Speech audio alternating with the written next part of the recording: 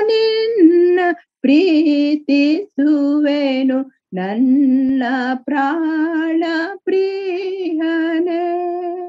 ಕರ್ತ ನಿನ್ನ ಪ್ರೀತಿಸುವೆನು ನನ್ನ ಪ್ರಾಣ ಪ್ರಿಯನೇ. ನನ್ನ ಪ್ರಾಣ ಪ್ರಿಯನೇ. ನನ್ನ ಹೃದಯ ರಾಜನೇ ನಿನ್ನ ಪ್ರೀತಿಸುವೆನು ನನ್ನ ಜೀವ ದಾರಸ ನಿನ್ನ ಪ್ರೀತಿ ಸುವೆನು ನನ್ನ ಜೀವ ದಾರಸ ಎಲ್ಲರಿಗಿಂತಲೂ ಎಲ್ಲದಕ್ಕಿಂತಲೂ ನನ್ನನ್ನು ಪ್ರೀತಿ ಸುವಿಯ ಎಲ್ಲರಿಗಿಂತಲೂ ಎಲ್ಲದಕ್ಕಿಂತಲೂ ನನ್ನನ್ನು ಪ್ರೀತಿ ಸುವಿಯೋ ಪೂರ್ಣ ಹೃದಯ ಪೂರ್ಣ ಪ್ರಾಣ ಪೂರ್ಣ ಶಕ್ತಿ ಇಂದಲೋ ಪೂರ್ಣ ಹೃದಯ ಪೂರ್ಣ ಪ್ರಾಣ ಪೂರ್ಣ ಶಕ್ತಿ ಇಂದಲೋ ಕರ್ತ ನಿನ್ನ ಪ್ರೀತಿಸುವೆನು ನನ್ನ ಪ್ರಾಣ ಪ್ರಿಯನೇ. ಸ್ಥಾನಮಾನ ಪ್ರಾಣಕ್ಕಿಂತಲೂ ನನ್ನನ್ನು ಪ್ರೀತಿ ಸುವಿಯ ಸ್ಥಾನಮಾನ ಪ್ರಾಣಕ್ಕಿಂತಲೂ ನನ್ನನ್ನು ಪ್ರೀತಿ ಸುವಿಯೋ ಸ್ವಾರ್ಥ ಬಿಟ್ಟು ಕ್ರೂಜೆ ಹೊತ್ತು ನನ್ನ ಹಿಂದೆ ಬರುವಿಯೋ? ಸ್ವಾರ್ಥ ಬಿಟ್ಟು ಕ್ರೂಜೆ ಹೊತ್ತು ನನ್ನ ಹಿಂದೆ ಬರುವಿಯೋ? ಕರ್ತ ನಿನ್ನ ಪ್ರೀತಿಸುವೆನು ನನ್ನ ಪ್ರಾಣ ಪ್ರಿಯನೇ. ಕ್ರಿಸ್ತನ ಪ್ರೀತಿ ಇಂದ ಗಾಲಿಸುವ ಕಷ್ಟ ಸಂಕಟ ಯಾವುದು? ಕ್ರಿಸ್ತನ ಪ್ರೀತಿ ಇಂದ ಗಾಲಿಸುವ ಕಷ್ಟ ಸಂಕಟ ಯಾವುದು ನಷ್ಟವಾದರು ನಿಷ್ಠೆಯಿಂದಲೇ ನಿನ್ನ ಪ್ರೀತಿ ಸುವೆನು. ನಷ್ಟವಾದರು ನಿಷ್ಠೆಯಿಂದಲೇ ನಿನ್ನ ಪ್ರೀತಿಸುವೆನು ಕರ್ತ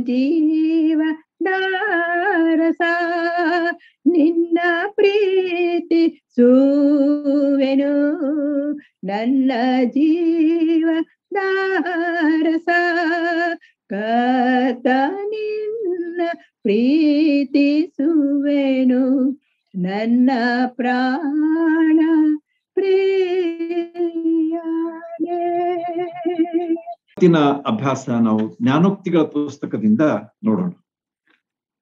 ಜ್ಞಾನೋಕ್ತಿ ಈಗ ನಾವು ಕೀರ್ತನೆ ಆರನೇ ಅಧ್ಯಾಯ ಏಳನೇ ಒಂದು ಅಭ್ಯಾಸ ನಮ್ದು ಕೀರ್ತನೆಯ ಪುಸ್ತಕದಿಂದ ಆಗಿತ್ತು. ಆಮೇಲೆ ಎಂಟನೇ ಒಂದು ಅಭ್ಯಾಸ ನಾವು ಅದರ ಬೇರೆ ಬೇರೆ ಭಾಗ, ಸತ್ಯವೇದ ಬೇರೆ ಬೇರೆ ಭಾಗಗಳಿಂದ ಪ್ರೀತಿಯ ವಿಷಯವಾಗಿ ನೋಡಿದೆವು. ಇವತ್ತು ವಿಶೇಷವಾಗಿ ಬರ್ತಕ್ಕಂಥ ಎಲ್ಲಾ ವಿಷಯಗಳು ಜ್ಞಾನೋಕ್ತಿ ಪುಸ್ತಕದಿಂದಲೇ ನಮಗ ಸಿಗುವಂಥವುಗಳಾಗಿವೆ ಯಾಕಂದ್ರೆ ಈ ಅಭ್ಯಾಸ ನಾನು ಮಾಡ್ತಾ ಇರುವಾಗ ಒಂದು ದೇವರು ವಿಚಾರ ಕೊಟ್ಟ ಏನಂತ ಹೇಳಿ ಕೀರ್ತನೆಗಳಲ್ಲಿ ಮತ್ತು ಜ್ಞಾನೋಕ್ತಿಗಳಲ್ಲಿ ಈ ಪ್ರೀತಿಯ ವಿಷಯವಾಗಿ ದೇವರು ಹೇಗೆ ತಿಳಿಸಿದ್ದಾನೆ ಎಂಬುದನ್ನ ಅಭ್ಯಾಸ ಮಾಡಬೇಕು ಅನ್ನುವಂತಹ ಒಂದು ವಿಚಾರ ನನಗೆ ಕೊಟ್ಟ ಕಾರಣ, ಅದನ್ನ ನಾನು ಅಭ್ಯಾಸ ಮಾಡಿ ನಿಮ್ಗ ಹಂಚಿಕೊಡ್ತಾ ಇದ್ದೆ. ಯಾಕಂದ್ರೆ, ದೇವ್ರ ವಾಕ್ಯದುದ್ದಕ್ಕೂ ಪ್ರೀತಿಯ ಒಂದು ವಿಷಯ ನಮಗ ಹೇಳಲ್ಪಟ್ಟಿದೆ ಮತ್ತು ಅದನ್ನ ನಾವು ನೋಡ್ತಾ ಇದ್ದೀವಿ. ಇವತ್ತು ಯಾವ ರೀತಿಯಾಗಿ ಜ್ಞಾನೋಕ್ತಿ ಪುಸ್ತಕದಲ್ಲಿ ನಮಗ ದೇವರು ನಮಗೆ ತಿಳಿಸ್ತಾನೆ ಎಂಬುದನ್ನ ಪ್ರಾರ್ಥನಾ ಪೂರ್ವಕವಾಗಿ ನಾವು ನೋಡೋಣ. ಜ್ಞಾನೋಕ್ತಿಯ ಪುಸ್ತಕದಲ್ಲಿ ವಿಶೇಷವಾಗಿ ಸ್ವಲ್ಪ ಅದರ ಅದರ ಒಂದು ಹಿನ್ನೆಲೆಯನ್ನ ನಾವು ನೋಡೋಣ. ಜ್ಞಾನೋಕ್ತಿ ಪುಸ್ತಕ ಅಂದ್ರೆ ಏನು ಅಂತ ಹೇಳಿ. ಎರ್ಮಿಯನ ಪುಸ್ತಕದಲ್ಲಿ ಒಂದು ವಚನ ಬರ್ತದೆ. ಎರ್ಮಿಯನ ಪುಸ್ತಕ ಹದಿನೆಂಟನೇ ಅಧ್ಯಾಯ ಹದಿನೆಂಟನೇ ವಚನದಲ್ಲಿ. Book of Jeremiah eighteen verse eighteen ಆಗ ಎರ್ಮಿಯನು ಎರ್ಮಿಯನಿಗೆ ವಿರುದ್ಧವಾಗಿ ಒಳಸಂಚು ಮಾಡೋಣ ಬನ್ನಿರಿ. ಧರ್ಮೋಪದೇಶವು ಯಾಜಕನಿಂದ, ಮಂತ್ರಾಲೋಚನೆಯು ಜ್ಞಾನಿಯಿಂದ, ದೈವೋಕ್ತಿಯು ಪ್ರವಾದಿಯಿಂದ, ಎಂದಿಗೂ ತಪ್ಪದಷ್ಟೇ. ಬನ್ನಿರಿ, ಅವನನ್ನ ಬಾಯಿಯಿಂದ ಪಡೆಯೋಣ.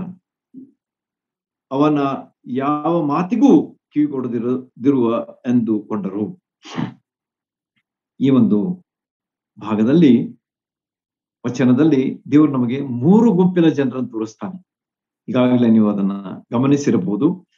ಮೂರು ಗುಂಪಿನ ಜನರಿದ್ದಾರೆ. ಮೊದಲೇದಾಗಿ ಧರ್ಮೋಪದೇಶಕ್ಕೂ ಯಾಜಕನಿಂದ. ಧರ್ಮೋಪದ ಐ ಮೀನ್ ಧರ್ಮಶಾಸ್ತ್ರದ ಉಪದೇಶ ಅದನ್ನ ಯಾರು ಮಾಡ್ತಾರ ಅಂತಂದ್ರೆ ಯಾಜಕರು.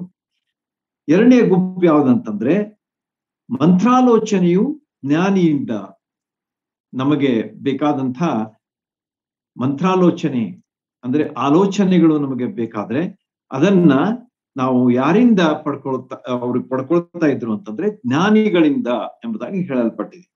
ಮೂರನೇ ಒಂದು ಗುಂಪು ಯಾವುದಂತಂದ್ರೆ ದೈವೋಕ್ತಿಯು ಪ್ರವಾದಿಯಿಂದ ಎಂಬುದಾಗಿ ಹೇಳಲಾಗಿದೆ.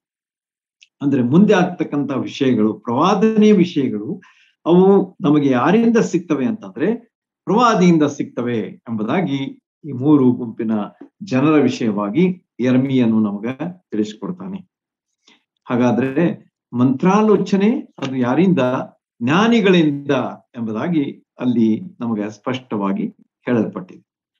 ನಮ್ಮ ಜೀವನದಲ್ಲಿ ಮಂತ್ರಾಲೋಚನೆ ಬಹಳ ಅವಶ್ಯ. ಕನ್ಸಲ್ಟೇಷನ್ ಎಂಬುದಾಗಿ ನಾವು ನೋಡ್ತೇವೆ.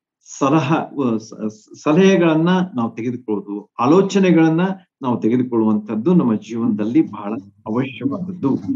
ಅದನ್ನ ಕೊಡುವವರು ಯಾರಂತಂದ್ರೆ ಜ್ಞಾನಿಗಳು ಎಂಬುದಾಗಿ ನಾವು ಧರ್ಮೀಯನ ಪುಸ್ತಕ ಹದಿನೆಂಟನೇ ಹದಿನೆಂಟನೇ ವಚನದಲ್ಲಿ ನೋಡುತ್ತೇವೆ ಹೀಗೆ ಜ್ಞಾನಿಗಳ ಅವಶ್ಯಕತೆ ಉಂಟು ಅಂತ ಹೇಳಿ ಈ ಭಾಗ ನಮಗ ತಿಳಿಸ್ತವೆ need of the wise people is there ಅಂತ ಹೇಳಿ ದೇವ್ರ ವಾಕ್ಯ ನಮಗ ತಿಳಿಸುವಂತದ್ದಾಗಿದೆ ಈ ಮೂರ ಉಲ್ಲೇಖ ಯಾಜಕರು, ಜ್ಞಾನಿಗಳು ಮತ್ತು ಪ್ರವಾದಿಗಳು ಎಂಬುದಾಗಿ.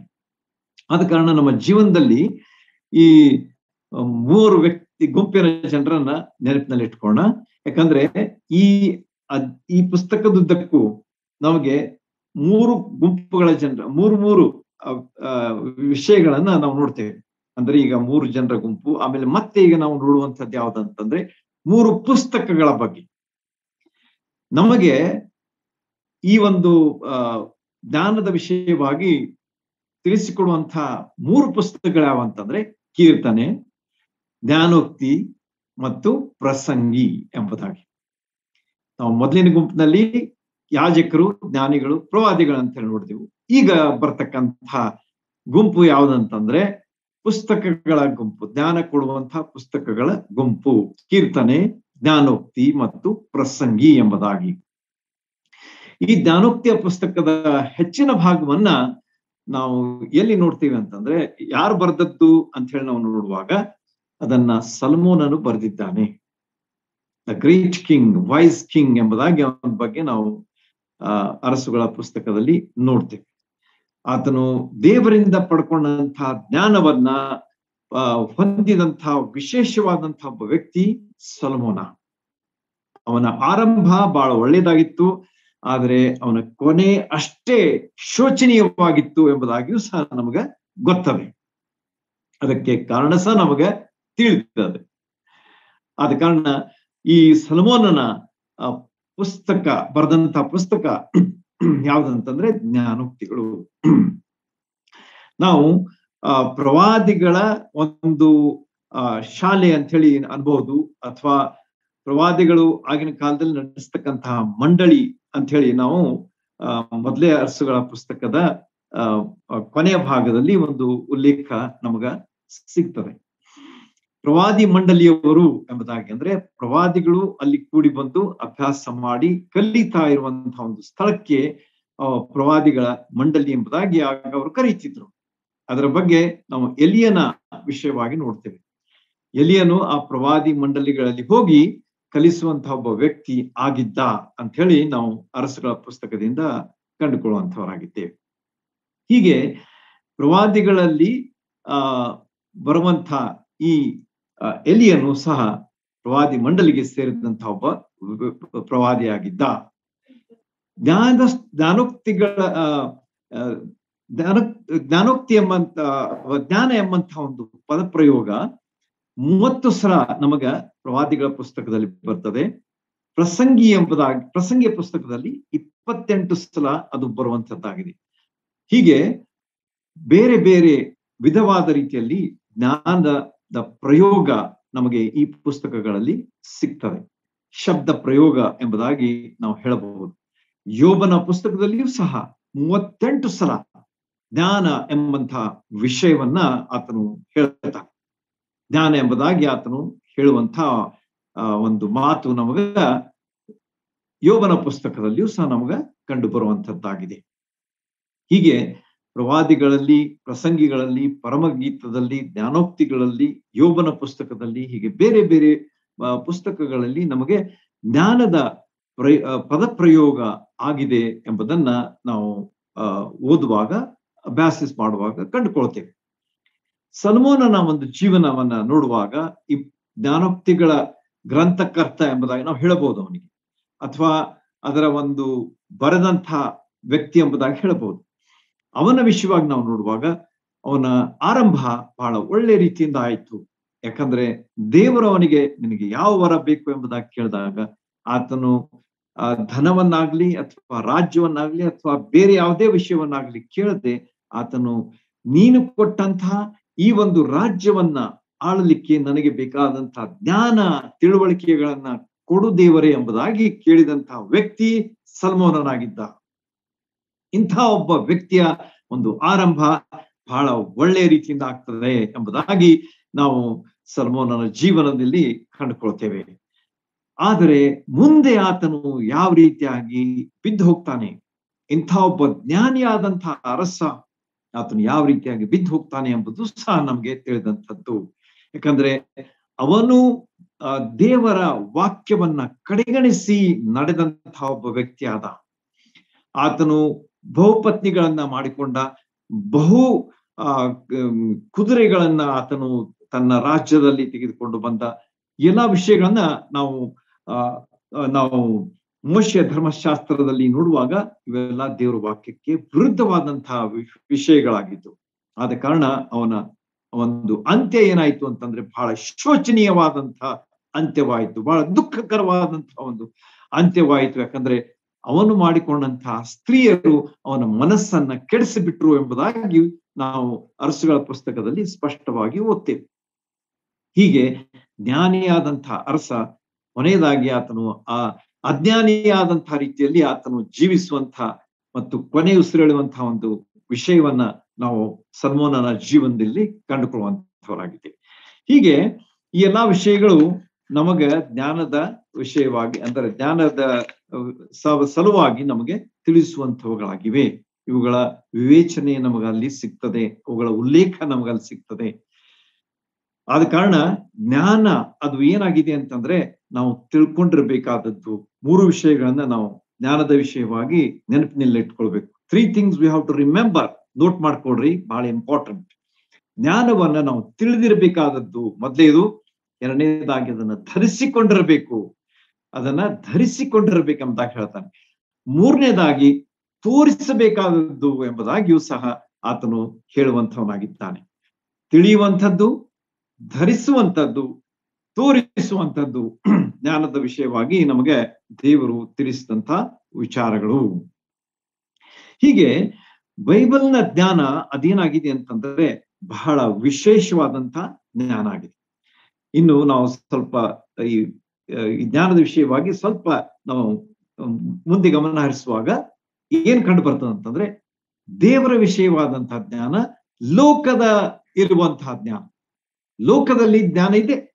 Definitely there is knowledge or wisdom in this world ಆದ್ರೆ ದೇವರ ಜ್ಞಾನ ಏನಾಗಿದೆ ಅಂತಂದ್ರೆ ಅದು ವಿಶೇಷವಾದಂತಹದ್ದು ಅದು ಅದು ಬೇರೆಯೇ ಆದಂತಹ ಒಂದು ಜ್ಞಾನವಾಗಿದೆ ಎಂಬುದನ್ನ ನಾವು ತಿಳ್ಕೊಂಡಿರ್ಬೇಕು. ಲೆಟ್ಸ್ ನಾಟ್ ಕನ್ಫ್ಯೂಸ್ ಈ ಎರಡು ಜ್ಞಾನಗಳ ಬಗ್ಗೆ ನಾವು ಗೊಂದಲ ಮಾಡ್ಕೊಳ್ಳದೆ ದೇವರ ಜ್ಞಾನವು ಶ್ರೇಷ್ಠವಾದಂತಹ ಜ್ಞಾನ ಎಂಬುದನ್ನ ನಾವು ತಿಳ್ಕೊಂಡಿರ್ಬೇಕು. ದೇವರ ಜ್ಞಾನ ಲೋಕದ ಜ್ಞಾನಕ್ಕಿಂತ ಬಹಳ ಬೇರೆಯಾದದ್ದು. ಆಮೇಲೆ ಜ್ಞಾನವನ್ನ ನಾವು ತಿಳ್ಕೊಂಡಿರ್ಬೇಕು, ಧರಿಸಿಕೊಂಡಿರ್ಬೇಕು ತೋರಿಸುವಂತವರಾಗಿರ್ಬೇಕು ಜ್ಞಾನಿ ಸೂಚನೆಗಳನ್ನ ಸ್ವೀಕರಿಸ್ತಾನೆ ಎಂಬುದಾಗಿಯೂ ಸಹ ನಾವು ಜ್ಞಾನೋಕ್ತಿಗಳ ಪುಸ್ತಕದಲ್ಲಿ ನೋಡ್ತೇವೆ. ಇನ್ಸ್ಟ್ರಕ್ಷನ್ಸ್ ಅಂತ ಹೇಳ್ತೀವಲ್ಲ, ಸೂಚನೆಗಳನ್ನ ಕೊಡುವಾಗ ಜ್ಞಾನಿ ಅದನ್ನ ಸ್ವೀಕರಿಸ್ತಾನೆ. ಅದನ್ನ ಆತನು ಧಿಕ್ಕರಿಸುವುದಿಲ್ಲ, ತಿರಸ್ಕರಿಸುವುದಿಲ್ಲ, ಆದ್ರೆ ಅದನ್ನ ಆತನು ಸ್ವೀಕರಿಸಿಕೊಳ್ಳುವಂತವನಾಗಿದೆ ಅವನೇ ನಿಜವಾದಂತ ಜ್ಞಾನಿ. ನಾವು ನಮ್ಗೆ ಎಲ್ಲ ಗೊತ್ತದೆ, ನಮ್ಗೇನು ಅದರ ಅವಶ್ಯಕತೆ ಇಲ್ಲ ಎಂಬುದಾಗಿ ಹೇಳುವುದಾದ್ರೆ ವಿ ಆರ್ ದ ಲೂಸರ್ಸ್ ನಾವು ಕಳ್ಕೊಳ್ಳುವಂಥವರಾಗಿದ್ದೇವೆ. ಜ್ಞಾನವನ್ನ ನಾವು ತಿರಸ್ಕರಿಸುವಂತವರಾಗಿದ್ದೇವೆ. ಹೀಗೆ ಜ್ಞಾನಿ ಏನ್ ಮಾಡ್ತಾನಂತಂದ್ರೆ ಸೂಚನೆಗಳನ್ನ ಸ್ವೀಕರಿಸುವಂತವನಾಗಿದ್ದಾನೆ. ಜ್ಞಾನೋಕ್ತಿಯ ಪುಸ್ತಕದಲ್ಲಿ ಬಹಳಷ್ಟು ಇವೆ, ಆದ್ರೆ ಹೇಳಲಿಕ್ಕೆ ಸಮಯ ಇಲ್ಲ ಅಂತ ಹೇಳಿ ನಾನು ನಿಮಗೆ, ಆ, ಕ್ಲುಪ್ತವಾಗಿ ಇವುಗಳನ್ನ ವಿವರಿಸ್ಲಿಕ್ಕೆ ನೋಡ್ತಾ ಇದ್ದೇನೆ. ಯಾಕಂದ್ರೆ ಜ್ಞಾನಿ ನಮಗೆ ಇರ್ತಕ್ಕಂತ ಸೂಚನೆಗಳನ್ನ ಆತನು ಸ್ವೀಕರಿಸ್ತಾನೆ. ಇದನ್ನು ಬಹಳ ಇದು ಬಹಳ ಅವಶ್ಯವಾದಂತಹ ಒಂದು ವಿಚಾರ. ನಮಗೆ ತಿಳಿದಂತಹ ವಿಷಯಗಳ ಬಗ್ಗೆ ನಾವು ತಿಳ್ಕೊಳ್ಳುವಂತಹ ಹಂಬಲ ಅಥವಾ ಒಂದು ತವಕ ನಮ್ಮಲ್ಲಿ ಇರಬೇಕಾಗಿದೆ. ಸೂಚನೆಗಳು ನಮಗೆ ಕೊಡಲ್ಪಟ್ಟಾಗ ನಾವು ಅದನ್ನ ಯಾವಾಗಲೂ ಸ್ವೀಕರಿಸುವಂತವರಾಗಿರ್ಬೇಕು ನಾವು ತಿಮೋತಿಯ ಎರಡನೇ ತಿಮೋತಿಗೆ, ಅಂದ್ರೆ ತಿಮೋತಿಗೆ ಬರೆದ ಎರಡನೇ ಪತ್ರ, ಮೂರನೇ ಅಧ್ಯಾಯ, ಹದಿನಾರನೇ ವಚನದಲ್ಲಿಯೂ ಸಹ ಇದನ್ನ ನೋಡ್ತೀವಿ. ಏನಂತ ಹೇಳಿ ಎರಡನೇ ತಿಮೋತಿ ಮೂರು ಹದಿನಾರರಲ್ಲಿ ದೇವರ ವಾಕ್ಯವು ಉಪದೇಶಕ್ಕೂ ಖಂಡನೆಗೂ ತಿದ್ದುಪಾಠಕ್ಕೂ ಕೊಡುವಂತ ಕೊಡಲ್ಪಟ್ಟಂತದ್ದಾಗಿದೆ ಎಂಬುದಾಗಿ ಪೌಲನು ದೇವರ ವಾಕ್ಯದ ವಿಷಯವಾಗಿ ಹೇಳುವಂತವನಾಗಿದ್ದ ನೋಡ್ರಿ ಎಷ್ಟು ಸುಂದರವಾದಂತಹ ವಿಚಾರಗಳನ್ನ ದೇವರ ವಾಕ್ಯದ ಬಗ್ಗೆ ನಾವು ಓದ್ತೇವೆ. ಉಪದೇಶಕ್ಕಾಗಿ, ಖಂಡನೆಗೋಸ್ಕರವಾಗಿ, ತಿದ್ದುಪಾಟಿಗೋಸ್ಕರವಾಗಿ ದೇವರ ವಾಕ್ಯ ನಮಗೆ ಕೊಡಲ್ಪಟ್ಟಿದೆ. ಆದ ಕಾರಣ ಈ ಸೂಚನೆಗಳು ನಮಗೆ ಕೊಡಲ್ಪಡುವಾಗ ಅವುಗಳನ್ನ ನಾವು ಸ್ವೀಕರಿಸಬೇಕಾದದ್ದು ಅವಶ್ಯ. ಅದರಲ್ಲಿ ಉಪದೇಶ ಇರಬಹುದು ಅದರಲ್ಲಿ ಖಂಡನೆ ಇರಬಹುದು ಅದರಲ್ಲಿ ತಿದ್ದುಪಾಠ ಇರಬಹುದು ಏನೇ ಇರಲಿ, ಆದ್ರೆ ನಾವು ಅದನ್ನ ಸ್ವೀಕರಿಸಿಕೊಳ್ಳುವಾಗ ಅದರಿಂದ ನಮ್ಗೆ ಒಳ್ಳೆಯದಾಗ್ತದೆ ಎಂಬಂತಹ ವಿಚಾರ ಇಲ್ಲಿ ನಾವು ಮುಂದೆ ಇಡಲ್ಪಟ್ಟಿದೆ. ಬುದ್ಧಿವಂತಿಕೆ ಅಥವಾ ವಿವೇಕ ಎಂಬುದು ಎಂಬುದು ಜ್ಞಾನ. ಜ್ಞಾನ ಅಂತಂದ್ರೆ ಏನು? ಬುದ್ಧಿವಂತಿಕೆ, ವಿವೇಕ, ಇದು ತಿಳುವಳಿಕೆ ಎಲ್ಲ ವಿಷಯಗಳು ಈ ಜ್ಞಾನದ ಬಗ್ಗೆ ನಮಗ ಇರುವಂತಹ ಶಬ್ದ ಪ್ರಯೋಗಗಳಾಗಿ, ಬೇರೆ ಬೇರೆ ಶಬ್ದಗಳಾಗಿವೆ. ಜ್ಞಾನ ಅಂತಂದ್ರೆ ಬುದ್ಧಿವಂತಿಕೆ ವಿಸ್ಡಮ್ ಎಂಬುದಾಗಿ ಇಂಗ್ಲಿಷ್ನಲ್ಲಿ ನಾವು ನೋಡ್ತೀವಲ್ಲ, ಅದಕ್ಕೆ ಬುದ್ಧಿವಂತಿಕೆ ಅಂತ ಹೇಳ್ತಾರೆ, ವಿವೇಕ ಅಂತ ಹೇಳ್ತಾರೆ, ತಿಳುವಳಿಕೆ ಅಂತ ಹೇಳ್ತಾರೆ. ಈ ಮೂರು ಶಬ್ದ ಪ್ರಯೋಗ ಜ್ಞಾನದ ವಿಷಯವಾಗಿ ನಮಗ ಕಂಡು ಬರ್ತದೆ. ಹೀಗೆ ಸತ್ಯಾಂಶವನ್ನ ತಿಳ್ಕೊಳ್ಳುವಂಥ ಜ್ಞಾನ ನಮಗೆ ಇರಬೇಕಾದದ್ದು ಬಹಳ ಅವಶ್ಯ. ದೇವ್, ಉದಾಹರಣೆಗಾಗಿ ದೇವರನ್ನ ತಿಳ್ಕೊಳ್ಬೇಕು. ವಿ ಶುಡ್ ನೋ ಗಾಡ್ ಎಂಬುದಾಗಿ ನಾವು ಹೇಳುವಾಗ ದೇವರ ವಿಷಯವಾಗಿ ಯಾವ್ಯಾವ ಸಂಗತಿಗಳು ನಮ್ಮ ಕಣ್ಣು ಮುಂದೆ ಬರ್ತವೆ? ದೇವರ ಪರಿಶುದ್ಧತೆ, ದೇವರ ಪ್ರೀತಿ, ದೇವರ ನೀತಿ ಈ ಮೂರು ವಿಚಾರಗಳು ನಮಗ ದೇವರ ಬಗ್ಗೆ ಕೂಡಲೇ ನಮ್ಮ ಕಣ್ಣು ಮುಂದೆ ಬರುವಂತವುಗಳಾಗಿವೆ ಹೀಗೆ ಈ ಮೂರು ವಿಷಯಗಳನ್ನ ಇನ್ನು ಬಹಳಷ್ಟು ಇವೆ, ಆದರೆ ಈ ಮೂರು ವಿಷಯಗಳು ನಮ್ಮ ಮುಂದೆ ವಿಶೇಷವಾಗಿ ಇರತಕ್ಕಂಥವುಗಳು ಪರಿಶುದ್ಧನಾದಂತಹ ದೇವರು, ಪ್ರೀತಿ ಸ್ವರೂಪನಾದಂತಹ ದೇವರು, ನೀತಿ ಸ್ವರೂಪನಾದಂತಹ ದೇವರು. ಈ ಮೂರು ವಿಚಾರಗಳನ್ನ ನಾವು ತಿಳ್ಕೊಳ್ಬೇಕಾದದ್ದು ಅವಶ್ಯ. ದೇವರ ವಿಷಯವಾಗಿ. ಹೀಗೆ ದೇವರು ಯಾವ ರೀತಿಯಾಗಿ ಇದ್ದಾನೆ, ಅದನ್ನು ನಾವು ತಿಳ್ಕೊಳ್ಬೇಕಾದದ್ದು ಬಹಳ ಅವಶ್ಯ. ಆದ ಕಾರಣ ನಾವು ಈ ಒಂದು ಜ್ಞಾನ ಅಂತಂದ್ರೆ ವಿಸ್ಡಮ್ ಅಂತಂದ್ರೆ ಬುದ್ಧಿವಂತಿಕೆ, ವಿವೇಕ, ತಿಳುವಳಿಕೆ ಇವು ನಮ್ಮ ಮುಂದೆ ಇರುವಂತಹ ಶಬ್ದಗಳಾಗಿವೆ. ಆದರೆ ನಾಲೆಡ್ಜ್ ಎಂಬುದಾಗಿ ನೋಡುವಾಗ ಅದೇನಾಗಿದೆ ಅಂತಂದ್ರೆ ಅದು ಜ್ಞಾನ ಅಂತ ಹೇಳಿ ಕೆಲವು ಭಾಷಾಂತರಗಳಲ್ಲಿ ನಮಗ ತಿಳಿದು ಬರ್ತದೆ. ಆಮೇಲೆ ಅದರ ಬಗ್ಗೆ ನಾವು ಹೆಚ್ಚು ಇದನ್ನ ಮಾಡ್ಕೊಳ್ಳೋದು ಬೇಡ ಕನ್ಫ್ಯೂಸ್ ಮಾಡ್ಕೊಳ್ಳೋದು ಬೇಡ. ಆದ್ರೆ ಅವು ಎರಡು ಬೇರೆ. ಜ್ಞಾನ ಮತ್ತು ತಿಳುವಳಿಕೆ. ಜ್ಞಾನ knowledge and wisdom they are different ಎಂಬುದನ್ನ ನಾವು ನಾವು ಅಷ್ಟು ತಿಳ್ಕೊಂಡಿರೋಣ.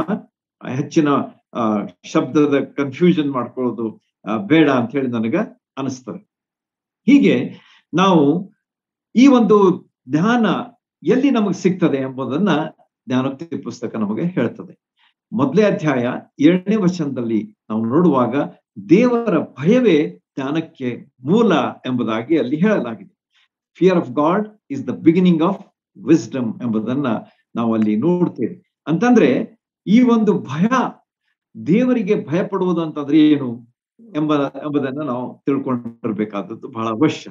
This has to be understood very clearly ಎಷ್ಟೋ ಸಲ ನಾವು ಭಯ ಅಂತ ಅನ್ಕೊಂಡೆ ಓಡಿ ಹೋಗ್ಬಿಡ್ತೀವಿ. ನಮಗೆ ಭಯ ಅಂದ್ಕೊಳ್ಳೆ ನಾವು ಅಹ್ ಕದ ಮುಚ್ಕೊಳ್ತೇವೆ ಅಥವಾ ಬಾಗಿಲ ಹಾಕೊಂಡು ನಾವು ಎಷ್ಟೋ ಸಲ ಟ್ರೈ ಟು ಬಿ ಸೇಫ್ ಆದ್ರೆ ಇಲ್ಲಿ ಸಲಮೋನನು ಹೇಳ್ತಕ್ಕಂತಹ ಈ ಒಂದು ಜ್ಞಾನದ ಒಂದು ವ್ಯಾಖ್ಯೆಯನ್ನ ನಾವು ಗಮನಿಸುವಾಗ ಅಥವಾ ತಿಳ್ಕೊಳ್ಳುವಾಗ ಅದೇನು ಹೇಳ್ತದಂತಂದ್ರೆ, ಪರಿಶುದ್ಧತೆಯಿಂದ ಒಂದು ಗೌರವದಿಂದ ಆಧಾರದಿಂದ ಕೂಡಿದಂಥ ಭಯ. ಇದು ಓಡಿ ಹೋಗುವಂತ ಭಯ ಅಲ್ಲ. ಆದ್ರೆ ದೇವರು ಎಷ್ಟು ಪರಿಶುದ್ಧನಾಗಿದ್ದಾನೆ, ಎಷ್ಟು ಗೌರವವುಳ್ಳವನಾಗಿದ್ದಾನೆ ಎಷ್ಟು ಆದರಣೀಯ ವ್ಯಕ್ತಿ ಆಗಿದ್ದಾನೆ ಎಂಬುದನ್ನ ನಾವು ವಿಚಾರ ಮಾಡುವಾಗ ನಮಗೆ ಭಯ ಆಗ್ತದೆ. ಯಾಕಂತಂದ್ರೆ ನಾವೇನಿದ್ದೇವೆ ಆತನ ಮುಂದೆ ಎಂಬಂತ ಒಂದು ವಿಷಯ ಅದನ್ನ ಅದನ್ನ ನಾವು ತಿಳ್ಕೊಂಡಿರ್ಬೇಕಾದದ್ದು ಬಹಳ ಅವಶ್ಯ.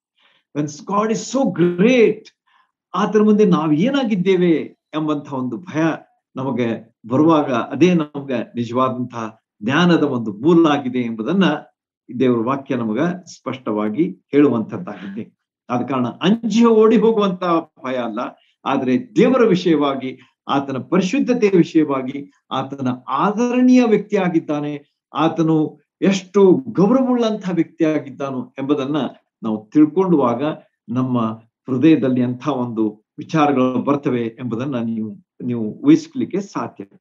ಹೀಗೆ ದೇವರ ವಾಕ್ಯದಲ್ಲಿ ಏನ್ ಹೇಳ್ತದೆ ಅಂತಂದ್ರೆ ದೇವರ ಭಯ ಅದೇನಾಗಿದೆ ಅಂತಂದ್ರೆ, ಆ, ಜ್ಞಾನಕ್ಕೆ ಮೂಲವಾದಂತಹ ವಿಷಯವಾಗಿದೆ. ಅದೇ ರೀತಿಯಾಗಿ ನಮ್ಮ ರಕ್ಷಣೆ ಹಾಗಾದ್ರೆ ಏನು? ಯಾವುದರಿಂದ ನಮಗೆ ಸಿಗ್ತದೆ ಅನ್ನುವಂತಹ ವಿಚಾರವನ್ನು ಸಹ ನಾವಿಲ್ಲಿ ಮಾಡಬಹುದು. ಯಾವಾಗ ನಾವು ದೇವರಿಗೆ ಭಯ ಪಡ್ತೇವೆ ಅಂದ್ರೆ ನಾವು ದೇವರಿಗೆ ಗೌರವ ಸಲ್ಲಿಸ್ತೇವೆ, ಆದರಣೆ ಸಲ್ಲಿಸ್ತೇವೆ, ಆತನ ಪರಿಶುದ್ಧತೆಯಲ್ಲಿ ನಾವು ಯಾವಾಗ ಆನಂದಿಸ್ತೇವೆ, ಅವಾಗ ಆತನು ನಮಗೆ ಆತ ನಮ್ಮನ್ನ ರಕ್ಷಿಸುವಂತವನಾಗಿದ್ದಾನೆ. ಆ ರಕ್ಷಣೆಯ ಅನುಭವಕ್ಕೆ ನಾವು ಖಂಡಿತವಾಗಿ ನಾವು ಬರುವಂತವರಾಗಿದ್ದೇವೆ. ನಾವು ದೊಡ್ಡವರು ಅಥವಾ ನಮ್ಮಲ್ಲಿ ಬಹಳ ಇದೆ ಅನ್ನುವಾಗ ನಾವು ದೇವರ ಹತ್ರ ಬರ್ಲಿಕ್ಕೆ ಸಾಧ್ಯವಿಲ್ಲ. ಆದ್ರೆ ನಾವು ಏನೂ ಇಲ್ದವರು, ನಾವು ಪಾಪಿಗಳು, ನಾವು ಪಶ್ಚಾತ್ತಾಪ ಪಡ್ತೇವೆ. ಸ್ವಾಮಿ, ನೀನು ಮಹೋನ್ನತನಾಗಿದ್ದಿ, ನೀನು ಪರಿಶುದ್ಧನಾಗಿದ್ದಿ, ನೀನು ಪ್ರೀತಿಯುಳ್ಳಂತಹ ದೇವರಾಗಿದ್ದಿ, ನಮ್ಮನ್ನ ಕನಿಕರಿಸಿದಂತಹ ದೇವರಾಗಿದ್ದಿ ಎಂಬುದಾಗಿ ನಿನ್ನ ಬಳಿಗೆ ಬರುವಾಗ, ದೇವರ ಬಳಿಗೆ ಬರುವಾಗ ಆತನ ಮಗನಾದಂತಹ ಯೇಸು ಸ್ವಾಮಿಯವರ ಮೂಲಕವಾಗಿ ನಮಗೆ ಬೇಕಾದಂತಹ ರಕ್ಷಣೆಯನ್ನ ಆತನು ಕೊಡ್ತಾನೆ. ನಮಗೆ ಬೇಕಾದಂತಹ ಪಾಪದ ಕ್ಷಮಾಪಣೆಯನ್ನು ಆತನು ಕೊಡ್ತಾನೆ. ನಿತ್ಯ ಜೀವದ ನಿರೀಕ್ಷೆಯನ್ನು ಕೊಡ್ತಾನೆ. ಆತನ ಮಕ್ಕಳಾಗುವಂತ ಭಾಗ್ಯವನ್ನ ನಮಗೆ ಅನುಗ್ರಹಿಸುವಂತವನಾಗಿದ್ದಾನೆ ಹೀಗೆ ಜ್ಞಾನವಿಲ್ಲದೆ ರಕ್ಷಣೆ ಸಿಗುವುದು ಸಾಧ್ಯವಿಲ್ಲ ಎಂಬುದನ್ನ ಈ ಭಾಗ ನಮಗ ಸ್ಪಷ್ಟವಾಗಿ ತಿಳಿಸುವಂತದ್ದಾಗಿದೆ ಅದಕ್ಕೆ ಒಂದು ಉದಾಹರಣೆಯನ್ನು ಸಹ ನಾನು ನಿಮಗೆ ಕೊಡ್ತೇನೆ. ದೇವರ ವಾಕ್ಯದಲ್ಲಿ ಇರ್ತಕ್ಕಂಥ ಉದಾಹರಣೆ. ಲೂಕನ ಸ್ವಾರ್ಥಿಯಲ್ಲಿ ಇಪ್ಪತ್ತ್ ಮೂರನೇ ಅಧ್ಯಾಯ ನಲವತ್ತನೇ ವಚನದಲ್ಲಿ ಬರತಕ್ಕಂತಹ ಒಬ್ಬ ಕಳ್ಳನ ಒಂದು, ಆ, ಒಂದು ದೃಶ್ಯ ನೀವು ನಿಮ್ ಕಣ್ಣು ಮುಂದೆ ತಗೊಂಡು ಬನ್ರಿ ಈಗ ಮೂರು ಕ್ರೂಜ್ಗಳಿವೆ. ಮಧ್ಯದಲ್ಲಿ ಸ್ವಾಮಿಯ ಕ್ರೂಜೆ, ಒಂದು ಕಡೆಗೆ ಒಬ್ಬ ಕಳ್ಳ, ಮತ್ತೊಂದು ಕಡೆಗೆ ಮತ್ತೊಬ್ಬ ಕಳ್ಳ. ಅಲ್ಲಿ ಒಬ್ಬ ಕಳ್ಳ ಏನ್ ಹೇಳ್ತಾ ಇದ್ದಾನಂತಂದ್ರೆ, ನಿನ್ನನ್ನು ರಕ್ಷಿಸ್ಕೋ, ನಮ್ಮನ್ನು ರಕ್ಷಿಸು ಎಂಬುದಾಗಿ ಹೇಳ್ತಾ ಇದ್ದಾನೆ. ಅಂದ್ರೆ he is not ready to accept the Lord Jesus Christ ಆತನು ಯೇಸು ಸ್ವಾಮಿ ಏನಾಗಿದ್ದಾನೆ ಎಂಬುದನ್ನು ಆತನು ಸ್ವೀಕರಿಸಲಿಕ್ಕೆ ಅವನಿಗೆ ಮನಸ್ಸಿಲ್ಲ. ಅವನಿಗೆ ಚಾಲೆಂಜ್ ಕೊಡ್ತಾ ಇದ್ದಾನೆ ಯೇಸು ಸ್ವಾಮಿ ಅವರಿಗೆ. ಆದ್ರೆ ಎರಡನೆಯ ವ್ಯಕ್ತಿಯ ಬಗ್ಗೆ ನೀವು ನೋಡುವಾಗ ಅವನೇನ್ ಹೇಳ್ತಾನಂತಂದ್ರೆ, ಕ್ರೂಜೆ ಮೇಲಿನ ಇದೇ ದಂಡನೆಯಲ್ಲಿರುವಾಗಲೂ ಸಹ ದೇವರಿಗೆ ಹೆದರೋದಿಲ್ಲವೋ ಎಂಬುದಾಗಿ ಹೇಳ್ತಾನೆ ನೋಡ್ರಿ ಎರಡನೆಯ ಒಬ್ಬ ಕಳ್ಳನ ಒಂದು ತಿಳುವಳಿಕೆ ಹೇಗಿದೆ ಎಂಬುದನ್ನ ಇದು ತಿಳಿಸ್ತಾನೆ ಏನಂತ ಹೇಳ್ತಾನೆ, ಇದೇ ದಂಡನೆಯಲ್ಲಿರುವಾಗಲೂ ಸಹ ದೇವರಿಗೆ ಹೆದರುವುದಿಲ್ಲವೋ ಎಂಬಂತಹ ಒಂದು ಪ್ರಶ್ನೆಯನ್ನ ಮತ್ತೊಬ್ಬ ಕಳ್ಳನಿಗೆ ಆತನು ಹೇಳುವಾಗ ತನ್ನ ವಿಷಯವಾದಂತಹ ಪೂರ್ತಿಯಾದಂತಹ ಒಂದು ತಿಳುವಳಿಕೆ ಅವನಿಗೆ ಬಂದದೆ ಎಂಬುದೊಂದು ಎಂಬಂತಹ ವಿಚಾರ ನಮಗೆ ಇಲ್ಲಿ ಕಾಣ್ತದೆ ಸ್ಪಷ್ಟವಾಗಿ. ಹೀಗೆ ತಿಳ್ಕೊಂಡಂತಹ ಒಬ್ಬ ವ್ಯಕ್ತಿ ಇಲ್ಲಿ ಕಳ್ಳ ಕಳ್ಳನಾಗಿದ್ರು ಕೂಡ ಅವನು ತನ್ನ ನಿಜ ಸ್ಥಿತಿಯನ್ನ ತಿಳ್ಕೊಂಡ ಮತ್ತು ಯೇಸು ಸ್ವಾಮಿ ಯಾರಾಗಿದ್ದಾರೆ ಎಂಬುದನ್ನ ತಿಳ್ಕೊಂಡ ಕಾರಣ ಅವನಿಗೆ ರಕ್ಷಣೆಯ ಅನುಭವ ಆಯ್ತು ಎಂಬುದಾಗಿ ನಾವು ನೋಡ್ತೇವೆ. ಆತನು ಹೇಳ್ತಾನೆ, ನೀನು ರಾಜ್ಯ ಪಡೆದುಕೊಂಡು ಬರುವಾಗ ಸ್ವಾಮಿ ನಮ್ಮನ್ನ, ನನ್ನನ್ನ ನೆನೆಸ್ಕೋ ಎಂಬುದಾಗಿ ಹೇಳುವಾಗ ಯೇಸು ಸ್ವಾಮಿ ಅವನಿಗೆ ಹೇಳಿದಂತಹ ಮಾತು ಎಷ್ಟು ಅದ್ಭುತವಾದಂತಹ ಒಂದು ಮಾತಾಗಿದೆ. ನಿಮ್ಮೆಲ್ಲರಿಗೆ ಗೊತ್ತಿದೆ. ಇವತ್ತೇ ನನ್ನ ಸಂಗಡ ಪರದೇಶಿನಲ್ಲಿ ಇರುವಿ ಎಂಬುದಾಗಿ ಯೇಸು ಸ್ವಾಮಿಯವರು ಅವನಿಗೆ ಆ ಪರಲೋಕ ರಾಜ್ಯದ ಭಾಗ್ಯವನ್ನ ಕೊಟ್ರು ಎಂಬುದಾಗಿ ನಮಗೆ ಅಲ್ಲಿ ಕಂಡು ಬರ್ತದೆ. ಹೀಗೆ ಧ್ಯಾನದ ಮಹತ್ವ ಎಷ್ಟಿದೆ ಎಂಬುದನ್ನ ಈ ಭಾಗ ನಮಗ ತಿಳಿಸ್ತದೆ. ನಮ್ಮನ್ನ ನಾವು ತಿಳ್ಕೊಳ್ಳುವಂಥದ್ದು, ದೇವರ ವಿಷಯವಾದಂತ ತಿಳುವಳಿಕೆ ನಮಗೆ ಇರಬೇಕಾದದ್ದು ಎಷ್ಟು ಅವಶ್ಯ ಎಂಬುದನ್ನ ಲೂಕ ಇಪ್ಪತ್ತ್ ಮೂರು ನಲವತ್ತರಲ್ಲಿ ಬರ್ತಕ್ಕಂಥ ಈ ಕಳ್ಳನ ಒಂದು ವಿಚಾರ ನಮಗೆ ತಿಳಿಸ್ತದೆ. ಓಕೆ ಇನ್ನೊಂದು ವಿಷಯ, ಒಂದು, ಇನ್ನೊಂದು ಇನ್ನೊಂದು ಉದಾಹರಣೆಯನ್ನ ಸಂಕ್ಷಿಪ್ತವಾಗಿ ನಿಮ್ಗೆ ಹೇಳ್ತೇನೆ. ಯೋಸೆಫನ ಉದಾಹರಣೆ. ಅಲ್ಲಿ, ಆ ಫೋಟಿಫರ್ನ ಮನೆಯಲ್ಲಿ ಆದಂತಹ ಘಟನೆ ನಿಮ್ಮೆಲ್ಲರಿಗೆ ಗೊತ್ತಿದೆ. ಅಲ್ಲಿ ಆತನು, ಆ ಆ ಸ್ತ್ರೀಯ, ಆ ಒಂದು ಮೋಹಪಾಶಕ್ಕೆ ಬೀಳದೆ ಅವನೇನಂದ ಅಂತಂದ್ರೆ, ನಾನು ದೇವರ ವಿರುದ್ಧವಾಗಿ ಹೇಗೆ ಪಾಪ ಮಾಡಲಿ ಎಂಬುದಾಗಿ ಆತನ ಸ್ಥಳವನ್ನ ಬಿಟ್ಟು ಓಡಿ ಹೋದನು ಎಂಬುದಾಗಿ ನಿಮಗೆ ಎಲ್ಲರಿಗೂ ಗೊತ್ತಿದ್ದಂತಹ ಮಾತು ಆದಿಕಾಂಡ ಪುಸ್ತಕದಲ್ಲಿ ಬರತಕ್ಕಂತ ಒಂದು ಈ ವಿಚಾರವನ್ನ ಅಥವಾ ಈ ವಿಷಯವನ್ನ ನಾವೆಲ್ಲರೂ ತಿಳಿದಿದ್ದೇವೆ.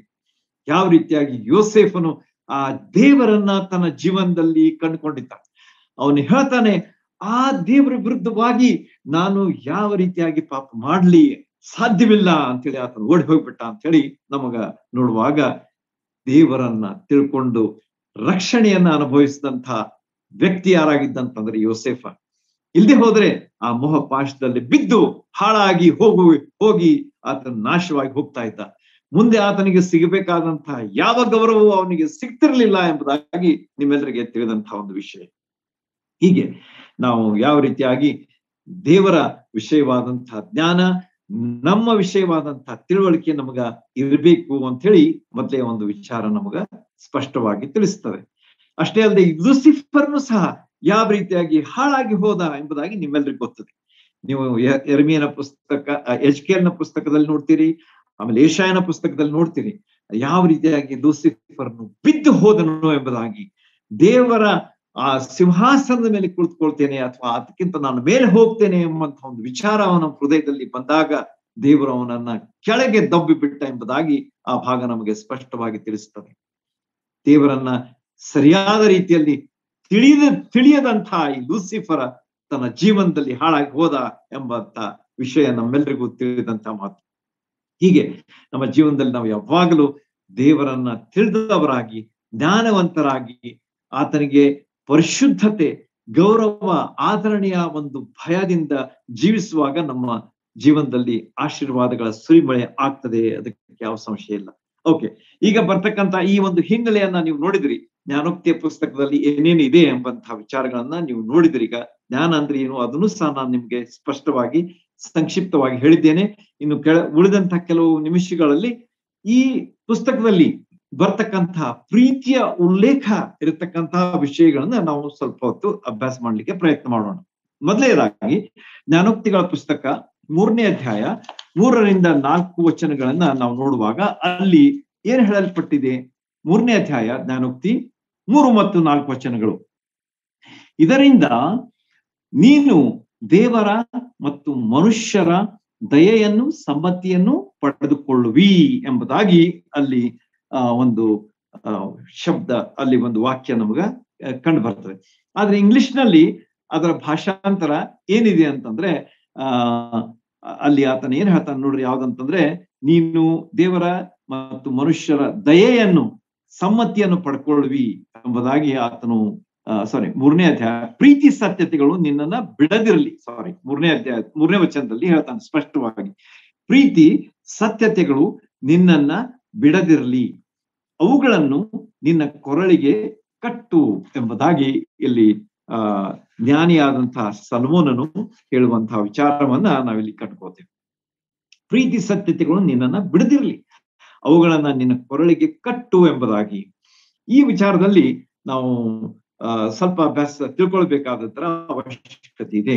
ಯಾವ ರೀತಿಯಾಗಿ ನಾವು ಈ ಪ್ರೀತಿಯನ್ನ ನಮ್ಮ ಜೀವನದಲ್ಲಿ, ಅಂದ್ರೆ ನಾವು ನಮ್ಮ ಜೀವನದಲ್ಲಿ ನಾವು ಹೊಂದಿರಬೇಕಾದದ್ದು ಅವಶ್ಯ ಎಂಬಂತಹ ವಿಚಾರವನ್ನ ಇಲ್ಲಿ ಜ್ಞಾನಿಯಾದಂತ ಸಲ್ಮೋನನು ಹೇಳ್ತಾ ಇದ್ದಾನೆ ನಮ್ಗೆ. ಪ್ರೀತಿಯನ್ನ ಬಿಡಬೇಡ, ಸತ್ಯವನ್ನ ಬಿಡಬೇಡ, ಇವೆರಡೂ ನಿನ್ನ ಕೊರಳಿಗೆ ಕಟ್ಟಿಕೊಂಡಿರು ಎಂಬುದಾಗಿ ಆತನು ಹೇಳುವಂತಹ ವಿಚಾರವನ್ನ ಇಲ್ಲಿ ಸ್ಪಷ್ಟವಾಗಿ ನಾವು ಕಂಡುಕೊಳ್ತೇವೆ. ದೇವರ ಬಗ್ಗೆ ನಿಷ್ಠೆ, ದೇವರ ಬಗ್ಗೆ ಪ್ರೀತಿ ಎಂಬುದನ್ನ ಇಲ್ಲಿ ಇದು ಅದು ನಮಗೆ ತಿಳಿಸುವಂತದ್ದಾಗಿದೆ ಆ, ಈ ಪ್ರೀತಿಯನ್ನ, ಈ ಸತ್ಯತೆಗಳನ್ನ ನಾವು ಯಾವಾಗಲೂ ನಮ್ಮ ಜೀವನದಲ್ಲಿ ಅಳವಡಿಸಿಕೊಂಡಿರಬೇಕು. ಯೇಸು ಸ್ವಾಮಿ ಅವರ ಉದಾಹರಣೆ ನಮ್ಮ ಮುಂದಿದೆ. ಲೂಕನ ಸುವಾರ್ತೆ ಎರಡನೇ ಅಧ್ಯಾಯ ಐವತ್ತೆರಡನೇ ವಚನದಲ್ಲಿ ನಾವು ನೋಡುವಾಗ ಅಲ್ಲಿ ಯೇಸು ಸ್ವಾಮಿಯವರ ವಿಷಯವಾಗಿ ಏನ್ ಹೇಳಲ್ಪಟ್ಟಿದೆ ಅಂತಂದ್ರೆ ದೇ ಆತನು ದೇವರ ಮತ್ತು ಮನುಷ್ಯರ ದಯೆಗೆ ಪಾತ್ರನಾದನು ಎಂಬುದಾಗಿ ಅಲ್ಲಿ ಹೇಳಲ್ಪಟ್ಟ, ಹೇಳಲಾಗಿದೆ ಸ್ಪಷ್ಟವಾಗಿ. ಹೀಗೆ ಎರಡನೇ ಅಧ್ಯಾಯ ಐವತ್ ಎರಡನೇ ವಚನದಲ್ಲಿ ಯೇಸು ಸ್ವಾಮಿಯವರ ಬಗ್ಗೆ ನೋಡುವಂತದ್ದು ಏನಂತಂದ್ರೆ, ದೇವರ ಮತ್ತು ಮನುಷ್ಯರ ದಯೆಯನ್ನ ಹೆಚ್ಚಾಗಿ ಅನುಭವಿಸ್ತಾ ಬಂದನು ಅಂತ ಅವರು ಆತನನ್ನ ಅವರ ಅವರ ದಯ ತೋರಿಸಿದ್ರು ಯೇಸು ಸ್ವಾಮಿಗೆ ಆಗ. ಆದ್ರೆ ಒಂದು ಸಮಯ ಬರ್ತದೆ ಆ ಸಮಯ ಬಂದಾಗ ಯೇಸು ಸ್ವಾಮಿ ಏನ್ ಮಾಡಿಬಿಟ್ರು ಅಂತಂದ್ರೆ ಅವರ ತಪ್ಪುಗಳನ್ನ, ದೋಷಗಳನ್ನ, ಅಪರಾಧಗಳನ್ನ ಅವರಿಗೆ ಎತ್ತಿ ತೋರಿಸುವಾಗ ಅಲ್ಲಿ ಏನಾಯ್ತು ಅಂತಂದ್ರೆ ಅವರೆಲ್ಲರೂ ಆತನನ್ನ ದ್ವೇಷಿಸ್ಲಿಕ್ಕೆ ಶುರು ಮಾಡಿದ್ರು ಎಂಬಂತಹ ವಿಚಾರವೂ ಸಹ ನಮಗೆ ಗೊತ್ತಿರುವಂತದ್ದಾಗಿದೆ. ಹೀಗೆ ಈ ಮನುಷ್ಯರು ಯಾವ ರೀತಿಯಾಗಿ ದಯೆ ತೋರಿಸ್ತಾನೆ? ಆದ್ರೆ ಯಾವಾಗ ಅವರು ಆ ದಯೆಯನ್ನು ತೋರಿಸುವುದನ್ನ ನಿಲ್ಲಿಸ್ತಾರೆ ಎಂಬಂತಹ ವಿಚಾರ ಇಲ್ಲಿ ನಮಗೆ ಯೇಸು ಸ್ವಾಮಿಯವರ ಜೀವನದಲ್ಲಿ ನಮಗೆ ಕಂಡು ಬರ್ತದೆ. ಆದ್ರೆ ಯೇಸು ಸ್ವಾಮಿಯವರು ಮಾತ್ರ ಆ ಪ್ರೀತಿಯನ್ನ ಬಿಡಲಿಲ್ಲ. ಜನರು ಬದಲಾದ್ರು. ಆದ್ರೆ ಯೇಸು ಸ್ವಾಮಿಯವರು ಮಾತ್ರ ಬದಲಾಗದೆ ಆ ಪ್ರೀತಿಯನ್ನ ಮುಂದರಿಸಿಕೊಂಡು ಹೋದ್ರು ಎಂಬುದಾಗಿ ಅವರ ಜೀವನವೇ ನಮಗೆ ಸಾಕ್ಷಿಯಾಗಿದೆ. ಪ್ರೀತಿಯನ್ನು ಬಿಡ್ಲಿಲ್ಲ, ಸತ್ಯತೆಯನ್ನು ಬಿಡ್ಲಿಲ್ಲ. ಅದನ್ನ ಅವರು ಮುಂದರಿಸಿಕೊಂಡು ಹೋದ್ರು ಎಂಬುದಾಗಿ ನಮಗ ಇಲ್ಲಿ ಸ್ಪಷ್ಟವಾಗಿ ತಿಳಿದು ಬರುವಂತದ್ದಾಗಿದೆ. ಆದ ಕಾರಣ ದೇವರು ಯೇಸು ಸ್ವಾಮಿಯವರ ಬಗ್ಗೆ ಸಾಕ್ಷಿ ಹೇಳ್ತಾರೆ ಏನಂತ ಹೇಳಿ ಈತನು ನನಗೆ ಮೆಚ್ಚಿದಂತ ನನ್ನ ಮಗನು ಎಂಬುದಾಗಿ ನಾವು ಯೇಸು ಸ್ವಾಮಿಯವರ ಬಗ್ಗೆ ಸಾಕ್ಷಿಯನ್ನ ದೇವ, ದೇವರ ಮುಖದಿಂದ ಅಥವಾ ದೇವರ ಬಾಯಿಂದ ನಾವು ಕೇಳುವಂತವರಾಗಿದ್ದೇವೆ ಈತನು ಮೆಚ್ಚಿದಂತಹ ನನ್ನ ಮಗನು ಎಂಬುದಾಗಿ. In whom I am well pleased ಎಂಬುದಾಗಿ ಇಂಗ್ಲಿಷ್ನಲ್ಲಿ ನಾನು ನೋಡ್ತೆ ಹೀಗೆ ಸಂತುಷ್ಟನಾದಂಥ, ದೇವರಿಗೆ ಸಂತುಷ್ಟಿಯನ್ನ ತಂದಂಥ ವ್ಯಕ್ತಿ ಯಾರಾಗಿದ್ರು ಅಂತಂದ್ರೆ ಯೇಸು ಸ್ವಾಮಿ ಅವರು ಆಗಿದ್ರು ಆದ ಕಾರಣ ಪ್ರೀತಿಯ ವಿಷಯವಾದಂತ ಈ ಒಂದು ವಿಚಾರ ನಮ್ಮ ಜೀವನದಲ್ಲಿ ಯಾವಾಗಲೂ ನಮ್ಮ ಮುಂದಿರಲಿ ಪ್ರೀತಿ, ಸತ್ಯತೆಗಳು ಇವು ಯಾವಾಗಲೂ ನಮ್ಮಲ್ಲಿ ಇರಬೇಕು. ಅವು ಜ್ಞಾನದಿಂದ ಕೂಡಿದಂತಹ ವಿಷಯಗಳು ಎಂಬುದಾಗಿ ನಮಗೆ ಜ್ಞಾನೋಕ್ತಿ ಪುಸ್ತಕ ಹೇಳ್ತದೆ. ಅವುಗಳನ್ನ ನಾವು ಹೇಗ್ ಮಾಡ್ಬೇಕಂದ್ರೆ ಕೊರಳ ಪಟ್ಟಿ ಹಾಗೆ ಕಟ್ಕೊಳ್ಬೇಕಂತ. ಈಗಿನ ಕಾಲದಲ್ಲಿ ನಾವು ನೋಡ್ತೇವೆ, ಆ, ಕೊರಳಿಗೆ ಪಟ್ಟಿ ಹಾಕೊಂಡಿರ್ತಾರೆ, ಅದರಲ್ಲಿ ಒಂದು ಹೆಸರು ಸಹ ಇರ್ತದೆ. ಈ ರೀತಿಯಾಗಿ ನಾವು ಇದರ ಒಂದು ಉಲ್ಲೇಖ ಹಳೆ ಒಡಂಬಡಿಕೆಯಲ್ಲಿಯೂ ಸಹ ಇರುವಂತದ್ದು ನಮಗ ಕಂಡು ಬರ್ತದೆ. ಹೀಗೆ ಅದು ಯಾವಾಗಲೂ ಅವ್ರ ಕೂಡ ಇರ್ತದೆ wherever they go they they carry it ಅದೇ ರೀತಿಯಾಗಿ ಈ ಪ್ರೀತಿ ಮತ್ತು ಸತ್ಯತೆಗಳು, ಜ್ಞಾನದಿಂದ ಕೂಡಿದಂತಹ ಈ ಎರಡು ವಿಚಾರಗಳು ಯಾವಾಗಲೂ ನಮ್ಮಲ್ಲಿ ಇರಬೇಕಾದದ್ದು ಅವಶ್ಯ ಅಂತ ಹೇಳಿ ಇಲ್ಲಿ ನಮಗ ಜ್ಞಾನೋಕ್ತಿ ಮೂರನೇ ಮೂರನೇ ಅಧ್ಯಾಯ ಮೂರು, ನಾಲ್ಕು ಕ್ವಶನ್ಗಳು ನಮಗ ತಿಳಿಸ್ತವೆ. ಅದರಿಂದ ಮುಂದೆ ಆತನು ಮತ್ತೇನು ಹೇಳ್ತಾನೆ ಅದರ ಬಗ್ಗೆ ನಿನ್ನ ಹೃದಯದ ಹಲಗೆಯಲ್ಲಿ ಅವುಗಳನ್ನ ಬರೆ. ಇದರಿಂದ ನೀನು ದೇವರ ಮತ್ತು ಮನುಷ್ಯರ ದಯೆಯನ್ನು ಸಮ್ಮತಿಯನ್ನ ಪಡೆದುಕೊಳ್ಳುವಿ ಎಂಬುದಾಗಿಯೂ ಸಹ ಅಲ್ಲಿ ಹೇಳಲಾಗಿದೆ. ಆದ ಕಾರಣ ಅವುಗಳನ್ನ ನಾವು ಕೊರಳ ಪಟ್ಟಿಯಷ್ಟೇ ಅಲ್ಲ, ನಮ್ಮ ಹೃದಯದ ಹಲಗೆಯ ಮೇಲೆ ಬರೆದುಕೊಳ್ಳುವಂಥದ್ದು ಸಹ ಯುಕ್ತವಾಗಿದೆ ಅಂತ ಹೇಳಿ ಈ ಭಾಗ ನಮಗ ತಿಳಿಸ್ತದೆ. ಆದ ಕಾರಣ ಜ್ಞಾನೋಕ್ತಿಯ ಪುಸ್ತಕದಲ್ಲಿ ಬರ್ತಕ್ಕಂತಹ ಮೊದಲೇ ವಿಚಾರ ಯಾವ್ದಂತಂದ್ರೆ ಪ್ರೀತಿಯ ವಿಷಯವಾಗಿ ಪ್ರೀತಿ ಮತ್ತು ಸತ್ಯತೆಗಳು ನಮ್ಮ ಕೂಡ ಯಾವಾಗಲೂ ಇರಬೇಕು ಕೊರಳ ಪಟ್ಟಿಯಂತೆ ಹೃದಯದ ಹಲಿಗೆಯ ಮೇಲೆ ಬರದಂತಹ ರೀತಿಯಲ್ಲಿ ಅವು ಇರಬೇಕು ಅಂತ ಹೇಳಿ ನಾವು ಅದರ ವಿಷಯವಾಗಿ ನೋಡಿದೆವು.